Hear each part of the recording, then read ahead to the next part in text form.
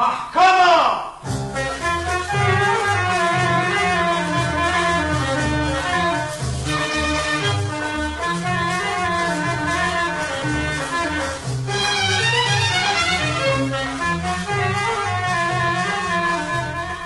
محكمة الفن الغنائية يكتبه ويخرجه لكم أحمد حجازي.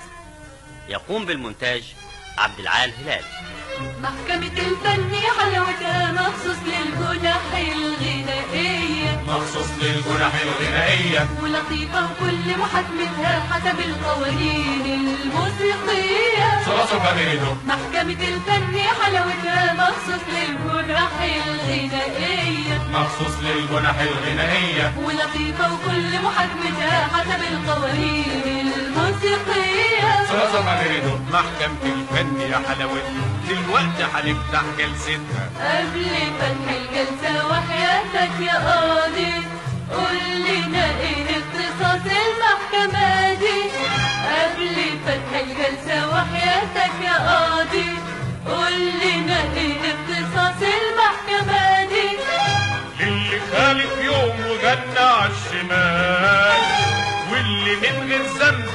عود للي خالف يوم وغنى عالشمال واللي من غير ذنب يضرب أي عود يبقى دق الطبلة في المطرب حلال.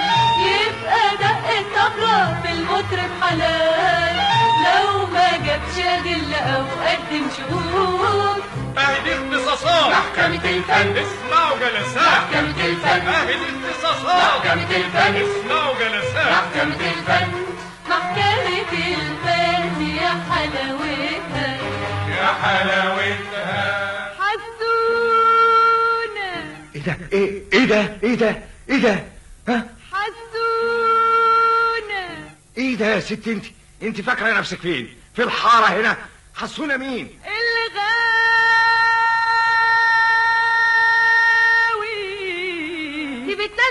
خطيبها يا سيادة القاضي. خاطبها؟ آه حسونا الغاوي. والله عال. نبطل قضايا بقى ونفتح بقى الجلسات للقاء المعجبين والمعجبات.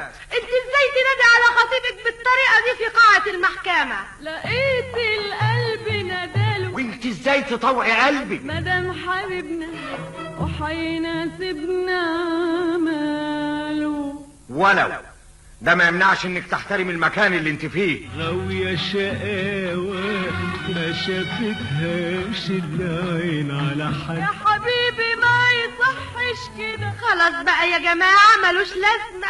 زي ما دخلتوا بالمعروف تخرجوا بالمعروف. هما إيه حكايتهم يا حاج؟ أنت مش فاكرهم؟ دي سلوى ووحيد أصحاب القضية المشهورة اللي سبق قعدنا نقول فيها ونعيد. إحنا مش حكمنا فيها ووفقنا بينهم. حصل. لكن مفيش فايدة ما ارتاحوش مع بعض. وجايين جلسة النهاردة عشان يفكوا الخطوبة. مفيش مانع. نصفي الحساب ونشوف اللي ليكي واللي عليه. هي ملهاش حاجة إنما هو له دبلتين واسورة مم، معاك الشبكة دلوقتي يا سلوى؟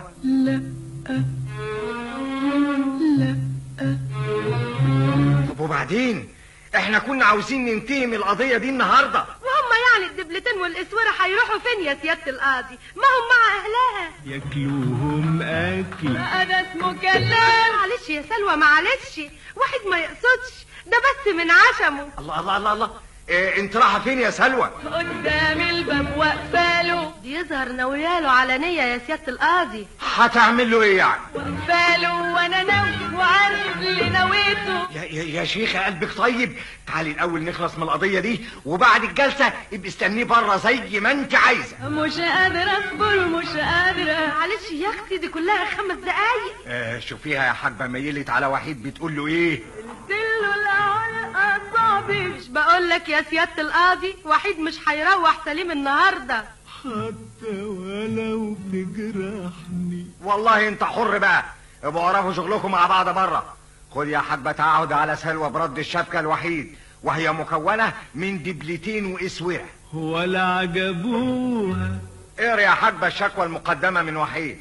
جاء في شكوى الأستاذ وحيد أنه في فترة الهجر والخصام بينهما تقدم لسلوى كثير من الخطاب في الوقت الذي كانت ترتبط فيه بوحيد.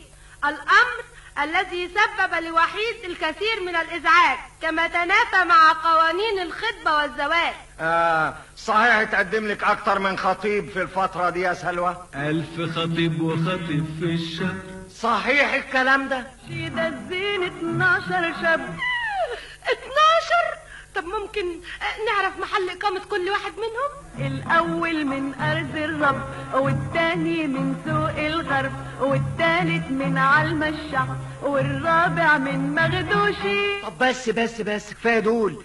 وده باعتراف ضمني منك بما جاء بمذكرة وحيد باتهامك بالإخلال بقانون الحب والزواج. هو الغرام عندك حرام. أنا ما بقولش الحب حرام إنما القلب دايما له واحد. وإنت عرفت حسونة في الوقت اللي إنت مرتبطة فيه بوحيد. وإنت عارفة كلام الناس كتير. انعابوا عليا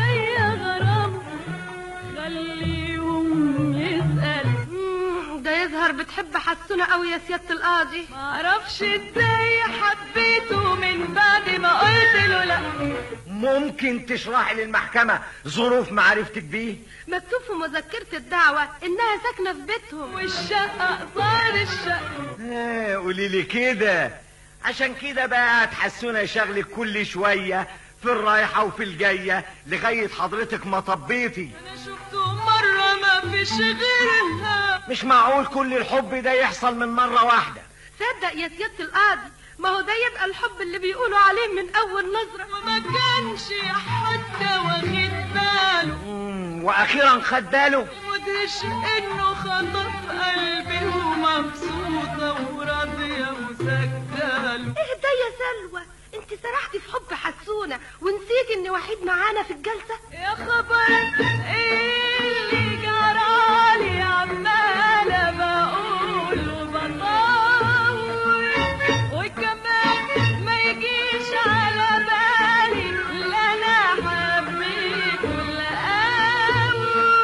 لي يا وحيد. لما لم الشوق وأقول لك. الله الله الله الله. هو الشوق وقع منك ولا إيه؟ ساعديه حبة ولمي معاه. أحسن ده باين عليه غرقان في شبر مية. عايم على بحر ملوش آخر. معلش يا أخويا بكرة توصل لبر الأمان. فين إحنا وبكرة فين؟ دي الأيام أقرب منها ما فيش يا أخويا.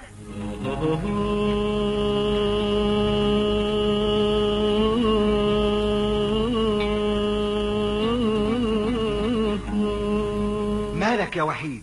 انت تعبان ولا إيه؟ بداري في الآه وأخبي في نوحي. مسكين يا روحي عليه.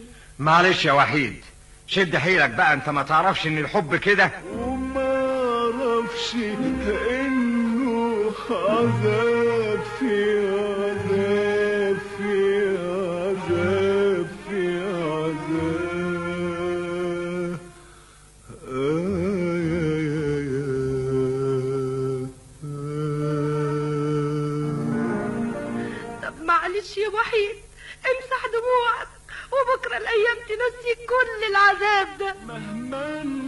انشغل بالي في ليلي ونهاري.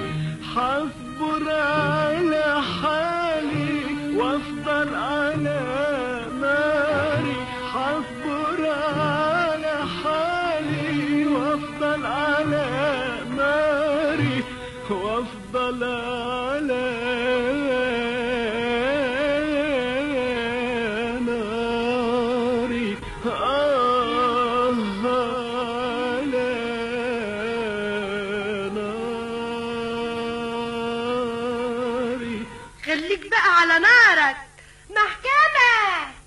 حكمت المحكمة بجواز سلوى من حسون الغاوي بشرط أن يملى حياتها بالمواويل والغناوي والمحكمة تنتهز هذه الفرصة وتطلب من الله أن يكفيهم شر البلاوي. قولوا إن شاء الله. إن شاء الله.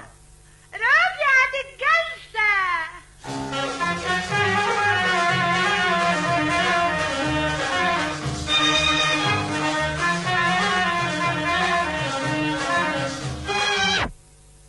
الساعة ليه؟ ما بقاش فيه وقت يا روحي. ياه فعلا يا سعادة القاضي.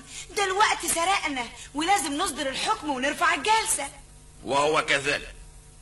حكمت المحكمة على مطرب أغنية الوي الوي بأن يقضي سهرة ممتعة مع توحيدة على نبع المي وتوقيع أقصى العقوبة على أهل الحي بحبسهم على ذمة التحقيق لمدة ساعتين وشوية رفعت الجلسة.